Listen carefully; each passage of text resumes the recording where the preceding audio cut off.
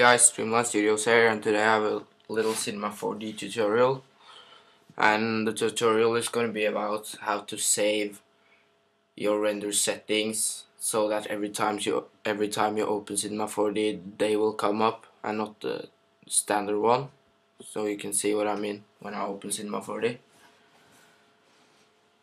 you see I when it opens I have many materials. I have the HD settings here and render frame range all frames and QuickTime and all that stuff.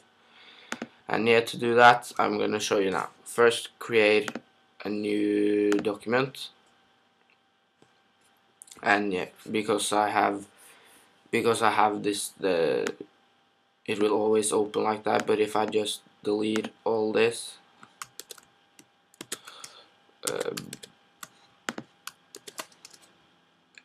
like that and if I change the output to maybe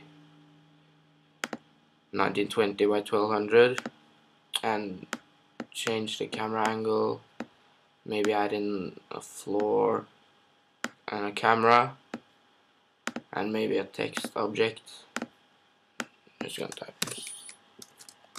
tutorial and change the font to and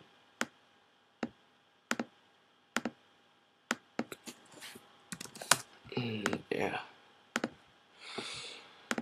Now if I and to get it as the so that every time you open Cinema 4D you this will open. You must go to file save as and then you want to go to find your ma uh, Maxon folder where Cinema 4D is. So I'm going to Maxon go into Cinema and here you type in new just new nothing more and you click save. Yeah I want to replace. And if I quit Cinema 4D now and I open it you're gonna see uh, hopefully that it will work. Yeah as you can see now it's open with the same thing I made uh, before. And yeah, just a little tutorial on how to save your render settings and stuff in Cinema 4D. I hope you liked it and remember to comment, like and subscribe. And please check out my free intro giveaway. And yeah, bye.